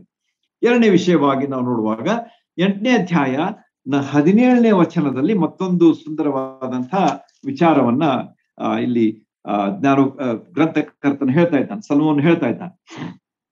ಎಂಟನೇ ಅಧ್ಯಾಯ ಹದಿನೇಳನೇ ವಚನದಲ್ಲಿ ನೋಡ್ರಿ. ನನ್ನನ್ನು ಪ್ರೀತಿಸುವವರನ್ನು ನಾನು ಪ್ರೀತಿಸುತ್ತೇನೆ. ಆತುರದಿಂದ ಹುಡುಕುವವರು ನನ್ನನ್ನ ಕಂಡುಕೊಳ್ಳುವರು ಎಂಬುದಾಗಿ. ತಿರುಗಿಯಲ್ಲಿ ಪ್ರೀತಿಯ ವಿಷಯವಾಗಿ ನಾವು ನೋಡ್ತೇವೆ. ನನ್ನನ್ನು ಪ್ರೀತಿಸುವವರನ್ನು ನಾನು ಪ್ರೀತಿಸುತ್ತೇನೆ. ಆತುರದಿಂದ ಹುಡುಕುವವರು ನನ್ನನ್ನು ಕಂಡುಕೊಳ್ಳುವರು ಎಂಬುದಾಗಿ ಇಲ್ಲಿ, ಆ, ಕೀರ್ತ ಜ್ಞಾನ, ಜ್ಞಾ ಸಲಮನ್ನು ಹೇಳುವಂತವನಾಗಿದ್ದಾನೆ ಪ್ರೀತಿಸಬೇಕು, ಜ್ಞಾನವನ್ನ ಸರಿಯಾಗಿ ನಾವು ಹುಡುಕಬೇಕು ಎಂಬಂತ ಈ ಎರಡು ವಿಚಾರಗಳು ಇಲ್ಲಿ ನಮಗ ಕಂಡು ಬರ್ತವೆ. ನನ್ನನ್ನ ಪ್ರೀತಿಸುವವರನ್ನು ನಾನು ಪ್ರೀತಿಸ್ತೇನೆ ಎಂಬುದಾಗಿ. ಅಂದ್ರೆ ಜ್ಞಾನ ಹೇಗಿದೆ ಅಂತಂದ್ರೆ ಇದು ಯಾರು ಹೇಳ್ತಾ ಇದ್ದಾರೆ? ಜ್ಞಾನ ಹೇಳ್ತಾ ಇದೆ. ಜ್ಞಾನ ಹೇಳ್ತಾ ಇದೆ ಏನಂತ ಹೇಳಿ ನನ್ನನ್ನ ನೀವು ಪ್ರೀತಿಸ್ರಿ, ಆಗ ನಾನು ನಿಮ್ಮನ್ನ ಪ್ರೀತಿಸ್ತೇನೆ ಎಂಬುದಾಗಿ. ಆತುರದಿಂದ ನನ್ನನ್ನು ಹುಡುಕ್ರಿ, ಆಗ ನಾನು ನಿಮಗೆ ಸಿಗ್ತೇನೆ ಅಂತ ಹೇಳಿ ಇನ್ ಅದರ್ ವರ್ಡ್ಸ್ ಯೇಸು ಸ್ವಾಮಿಯವರು ಅಂತ ಹೇಳ್ಬೋದು. ಯಾಕಂದ್ರೆ ಯೇಸು ಸ್ವಾಮಿಯವರು ಏನಾಗಿದ್ರು ಅಂತಂದ್ರೆ ಅವರೇ ಜ್ಞಾನದ ಖಜಾನೆಯಾಗಿದ್ರು. ಅವರನ್ನೇ ನಾವು ಪ್ರೀತಿಸುವಾಗ ಅವರು ನಮ್ಮನ್ನು ಖಂಡಿತವಾಗಿ ಪ್ರೀತಿಸ್ತಾರೆ. ಎನ್ನುವಂಥದ್ದು ಎರಡನೇ ಒಂದು ವಿಚಾರ. ಆದರೆ ಜ್ಞಾನದ ವಿಷಯವಾಗಿ ನಾವೇನು ತಿಳ್ಕೊಳ್ಬೇಕಾಗಿದೆ ಅಂತಂದ್ರೆ ಜ್ಞಾನವನ್ನ ನಾವು ಪ್ರೀತಿಸಬೇಕು. ವಿ ಶುಡ್ ಲವ್ ವಿಸ್ಡಮ್ ನಮ್ಮ ಜೀವನದಲ್ಲಿ. ಅದನ್ನ ನಾವು ಎಷ್ಟೋ ಜನರು ಅದನ್ನ ಬಹಳ ಹಗುರಾಗಿ ತೆಗೆದುಕೊಳ್ತಾರೆ. They take it so lightly ಜ್ಞಾನ ಇರ್ಬಿಡ ಅದೇನು ಅಂತ ಹೇಳಿ. ಇಂಥ ರೀತಿಯಲ್ಲಿ ಈ ಜೀವಿಸುವಂತಹ ವ್ಯಕ್ತಿಗಳಿಗೆ ಜ್ಞಾನ ಸಿಗುವುದಿಲ್ಲ. ಅದನ್ನ ನಾವು ಪ್ರೀತಿಸಬೇಕೆಂಬುದ ಹೇಳ್ತಾನೆ. We have to love it ಆಗ ಅದು ನಮ್ಮನ್ನ ಪ್ರೀತಿಸ್ತದೆ ಎಂಬಂತಹ ವಿಚಾರವನ್ನ ಇಲ್ಲಿ ನಾವು ಸ್ಪಷ್ಟವಾಗಿ ಕಂಡುಕೊಳ್ತೇವೆ. ಅಷ್ಟೇ ಅಲ್ಲದೆ ನಾವು ಅದನ್ನ ಹುಡುಕಬೇಕು, ಆತುರದಿಂದ ಹುಡುಕ್ಬೇಕಂತ ಸರಿಯಾದ ರೀತಿಯಲ್ಲಿ ಅದನ್ನ ನಾವು ಹುಡುಕಬೇಕು. ಆಗ ಏನಾಗ್ತದ ಅಂತಂದ್ರೆ ಅದು ನಮಗ ಸಿಗ್ತದೆ.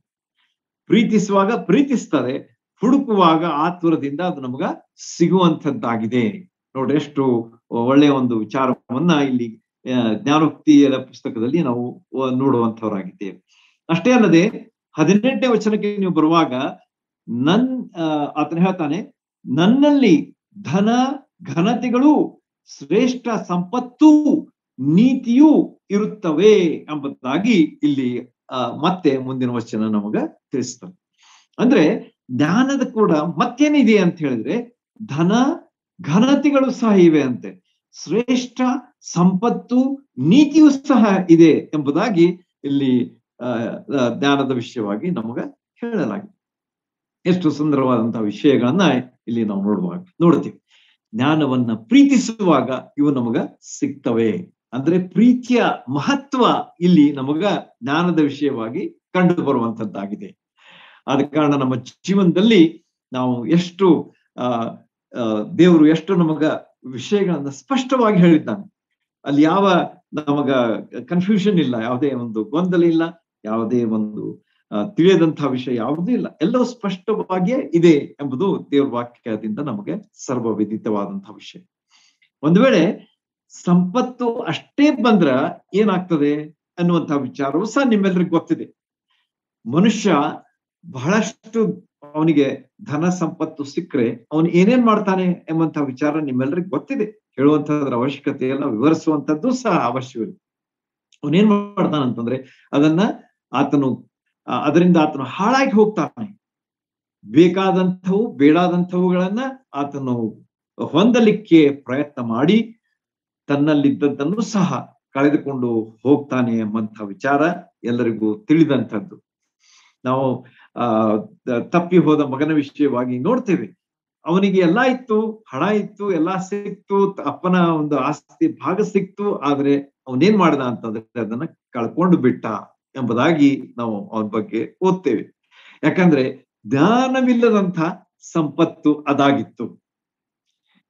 ಜ್ಞಾನವಿರುವಂತಹ ಸಂಪತ್ತು ಏನಾಗಿದೆ ಅಂತಂದ್ರೆ ಅದು ನಿಜವಾದಂತಹ ಒಂದು ಸಂಪತ್ತು ಉಳಿಯುವಂತಹ ಒಂದು ಸಂಪತ್ತು, ಅದು ಅದು ನಮ್ಮಲ್ಲಿ ಹೆಚ್ಚಾದಂತಹ ಒಂದು ಒಳ್ಳೆಯ ವಿಷಯಗಳನ್ನ ತರುವಂಥದ್ದು, ಶ್ರೇಷ್ಠ ಸಂಪತ್ತನ್ನು, ನೀತಿಯನ್ನು ಕೊಡುವಂಥದ್ದಾಗಿದೆ ಎಂಬುದಾಗಿ ನಾವು ಈ ಭಾಗದಿಂದ ಕಂಡುಕೊಳ್ತೇವೆ. ಆದ ಕಾರಣ ಬರೇ, ಸಂಪತ್ತಿಗೆ ಮಹತ್ವ ಇಲ್ಲ. ಆದ್ರೆ, ಜ್ಞಾನದಿಂದ ಕೂಡಿದಂತ ಸಂಪತ್ತು. ಯಾವಾಗ ನಾವು ಜ್ಞಾನವನ್ನ ಪ್ರೀತಿಸ್ತೇವೆ, ಜ್ಞಾನ ನಮಗೆ ಸಿಗ್ತದೆ. ಆಗ ಅದರ ಮೂಲಕವಾಗಿ ಈ ಭಾಗದಲ್ಲಿ ಹದಿನೆಂಟನೇ ವಚನದಲ್ಲಿ ಹೇಳಿದಂತ ಶ್ರೇಷ್ಠವಾದಂತ ಸಂಪತ್ತು, ನೀತಿ ನಮಗೆ ಸಿಗುವಾಗ ಅದು ಉಳಿಯುವಂತಹ ಸಂಪತ್ತಾಗಿದೆ ಮತ್ತು ಅದು ನಮಗ, ಅದನ್ನ ನಮಗೆ ಉನ್ನತಿಯನ್ನು ತರುವಂತಹದ್ದಾಗಿದೆ ಇಟ್ ಎಡಿಫೈಸ್ ಅಸ್ ಎಂಬುದಾಗಿ ನಾವು ಹೇಳಬಹುದು. ಅದು ನಮಗೆ ಹೆಚ್ಚಾದಂತಹ ಉನ್ನತಿಯನ್ನು ನಮ್ಮ ಜೀವನದಲ್ಲಿ ತರುತ್ತದೆ ಈ ಲೋಕದ ಸಂಪತ್ತು ನಮಗೆ ಅವನತಿಯನ್ನು ತರ್ತದೆ. ಆದರೆ ಜ್ಞಾನದಿಂದ ಕೂಡಿದಂತಹ ಸಂಪತ್ತು, ಪ್ರೀತಿಸುವಾಗ, ಜ್ಞಾನವನ್ನ ಪ್ರೀತಿಸುವಾಗ ಸಿಗುವಂತಹ ಒಂದು ಸಂಪತ್ತು ಅದು ನಮಗೆ ಏನ್ ತರ್ತದ ಅಂತಂದ್ರೆ ಉನ್ನತ ಉನ್ನತಿಯನ್ನ ನಮ್ಮ ಜೀವನದಲ್ಲಿ ತರುವಂತಹ ಒಂದು ಸಂಪತ್ತಾಗಿದೆ ಎಂಬುದಾಗಿ ದೇವರ ವಾಕ್ಯ ನಮಗ ಸ್ಪಷ್ಟವಾಗಿ ತಿಳಿಸ್ತದೆ. ಹೀಗೆ ಒಂದು ಎರಡನೇ ವಿಷಯ ಏನಂತಂದ್ರೆ ಜ್ಞಾನವನ್ನ ನಾವು ಪ್ರೀತಿಸಬೇಕು. ಮೊದಲನೇದಾಗಿ ನಾವು ನೋಡಿದೀವಿ ಏನಂತ ಹೇಳಿ ಅಹ್ ಯಾವ ರೀತಿಯಾಗಿ ಜ್ಞಾನ, ಅದು ಪ್ರೀತಿ ಸಾಧ್ಯತೆಗಳು ಯಾವಾಗಲೂ ನಮ್ಮಲ್ಲಿ ಇರಬೇಕು ಅಂತ ಹೇಳಿ ಎರಡನೇದಾಗಿ ನಾವು ಜ್ಞಾನವನ್ನ ಪ್ರೀತಿಸಬೇಕು ಎಂಬುದಾಗಿ ನೋಡ್ತೇವೆ. ಮೂರನೇ ಒಂದು ವಿಚಾರವನ್ನ ಹತ್ತನೇ ಅಧ್ಯಾಯ, ಅದೇ ಮುಂದೆ ಹೋಗ್ರಿ ಅಹ್ ಎರಡು ಅಧ್ಯಾಯಗಳ ಮುಂದಾದ್ನೆ. ಹತ್ತನೇ ಅಧ್ಯಾಯ ಹನ್ನೆರಡನೇ ವಚನದಲ್ಲಿ ಬರ್ತಕ್ಕಂತಹ ಒಂದು ಮಾತು ಸಹ ಸುಂದರವಾದಂತಹ ಮಾತಾಗಿದೆ. ಆ ಹನ್ನೆರಡನೇ ದ್ವೇಷವು ಜಗಳವನ್ನೆಬ್ಬಿಸುತ್ತದೆ, ಪ್ರೀತಿಯು ಪಾಪಗಳನ್ನೆಲ್ಲ ಮುಚ್ಚುತ್ತದೆ. ನೋಡ್ರಿ, ಬಹಳ ಅರ್ಥಪೂರ್ಣವಾದಂತಹ ಮಾತಿದು. ಅಷ್ಟು ಅದನ್ನ ನಾವು ಈಸಿಯಾಗಿ ತೆಗೆದುಕೊಳ್ಳೋದು ಬೇಡ, ಸ್ವಲ್ಪ ನೋಡೋಣ ಅದೇನಂತ ಹೇಳಿ ನಮಗೆ ಎಷ್ಟೋ ಸಲ ಕನ್ಫ್ಯೂಸ್ ಆಗ್ತದೆ ಈ ಒಂದು ಮಾತನ್ನ ನಾವು ಒಮ್ಮೆ ಓದ್ಬಿಟ್ರೆ ಫಾರ್ ಎಕ್ಸಾಂಪಲ್ ದ್ವೇಷ ಜಗಳವನ್ನು ಎಬ್ಬಿಸ್ತದೆ, ಪ್ರೀತಿಯು ಪಾಪಗಳನ್ನೆಲ್ಲಾ ಮುಚ್ಚುತ್ತದೆ ಅಂದ್ರೆ ಏನ್ರಿ ಎನ್ನುವಂತ ಒಂದು ವಿಚಾರ ನಮ್ಗ ಬರ್ತದೆ. ದ್ವೇಷ ಅಂತಂದ್ರೆ ನಿಮ್ಮೆಲ್ಲರಿಗೂ ಗೊತ್ತದೆ. ಯಾರನ್ನ ನಾವು ಲೈಕ್ ಮಾಡೋದಿಲ್ಲ, ನಾವು ಅವ್ರನ್ನ ಏನ್ ಮಾಡ್ತೇವೆ? ಹೇಟ್ ಮಾಡ್ತೇವೆ. That's as simple as that ಆದ ಕಾರಣ ನಮ್ಮ ಜೀವನದಲ್ಲಿ ದ್ವೇಷ ಅದೇನಾಗ್ತದೆ ಅಂತಂದ್ರೆ ಅದು ಬಹಳ ಕೆಟ್ಟಾದದ್ದು ಎಂಬುದಾಗಿ ಜಗಳವನ್ನ ಎಬ್ಬಿಸುವಂಥದ್ದು ದ್ವೇಷ ಅಂದ್ರೆ ಯಾವಾಗ ನಾವು ಲೈಕ್ ಮಾಡೋದಿಲ್ಲ ಅವಾಗ next step is we fight with them we quarrel with them ಎಂಬುದಾಗಿ ಸತ್ಯವೇದ ನಮಗೆ ತಿಳಿಸ್ತದೆ. ಅದನ್ನೇ ನಾವು ಈ ಜೀವನದಲ್ಲಿ ನೋಡ್ತಾ ಇದ್ದೇವೆ. ಅದಕ್ಕೆ ಹೆಚ್ಚಿನ ವಿವರಣೆ ಅವಶ್ಯವಿಲ್ಲ. ಸದಾ ಕೆದಕುವಂತಹ ವಿಚಾರ, ಸಂಶಯ ಪಡುವಂಥದ್ದು ಇಲ್ಲದೆ ಇಲ್ಲದನ್ನ ಐತಿ ಅಂತ ಹೇಳಿ ತಿಳ್ಕೊಂಡು ನಾವು ನಡೆಯುವಂಥದ್ದು, ನಮ್ಮ ರೀತಿ, ನಡತೆಗಳು ಅವೇನಾಗಿಬಿಟ್ಟವೆ ಅಂತಂದ್ರೆ ಜಗಳವನ್ನ ತರ್ತವೆ, ದ್ವೇಷವನ್ನ ಹುಟ್ಟಿಸುವಂತವುಗಳಾಗಿವೆ ಆದ್ರೆ ಪ್ರೀತಿ ಏನು ಮಾಡ್ತದೆ ಅಂತಂದ್ರೆ ಪಾಪಗಳನ್ನೆಲ್ಲ ಮುಚ್ಚುತ್ತದೆ. ನೋಡ್ರಿ, ಇದರ ಬಗ್ಗೆ ಸ್ವಲ್ಪ ನೀವು ಸ್ಪಷ್ಟವಾದಂತ ವಿಚಾರಗಳನ್ನ ವಿಚಾರ ತಿಳ್ಕೊಂಡ್ರಿ. ಇದು ರಕ್ಷಣೆ ವಿಷಯವಾದಂತಹ ಸಂಗತಿ ಅಲ್ಲ. ಇದು, ಇದ ಇದರಲ್ಲಿ ನಾವು ಅದನ್ನ ತಿಳ್ಕೊಂಡಿರ್ಬೇಕು ಸ್ಪಷ್ಟವಾಗಿ.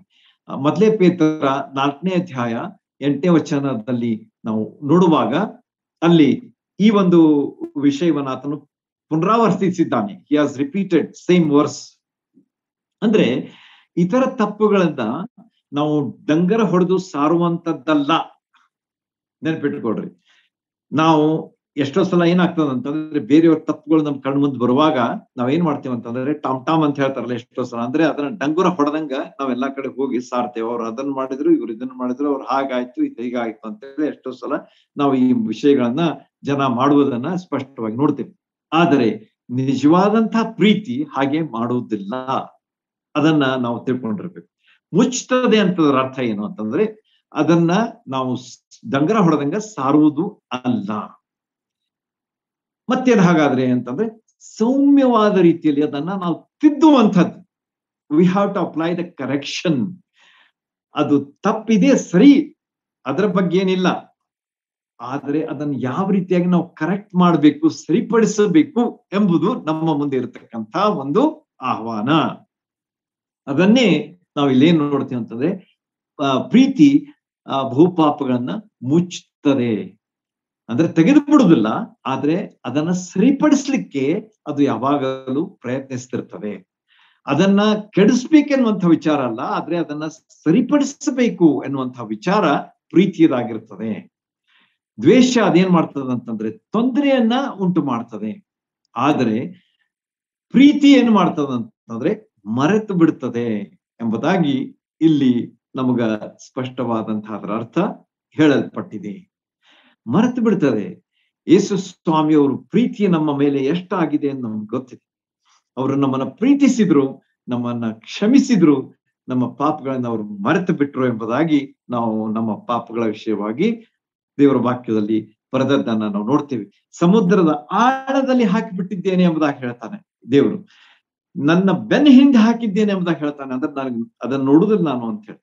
ಪೂರ್ವಕ್ಕೆ ಪಶ್ಚಿಮಕ್ಕೆ ಎಷ್ಟು ಅಂತರವೋ ಅಷ್ಟು ದೂರ ಅವುಗಳನ್ನು ಮಾಡಿಬಿಟ್ಟಿದ್ದೇನೆ ಎಂಬುದಾಗಿ, ಆ, ದೇವರು ನಮ್ಮ ಪಾಪಗಳ ವಿಷಯವಾಗಿ ಹೇಳಿದ್ದಾರೆ.